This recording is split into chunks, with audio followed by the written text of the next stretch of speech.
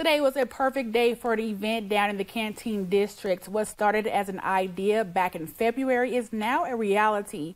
North Platte Public Schools Kids Club and Nebraska Farm Bureau Foundation united together to host Agriculture on the Bricks, which is a community event for children and their families.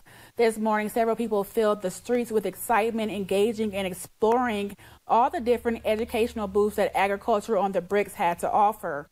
Emily Kammer with Nebraska Farm Bureau Foundation shares the purpose behind this event.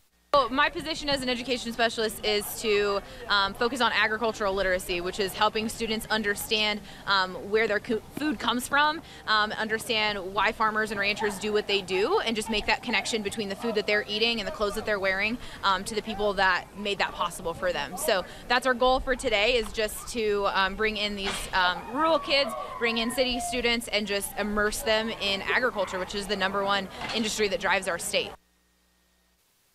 Each child was rewarded a free scoop of ice cream from Double Dips Ice Creamery once they completed their farm passport bingo card.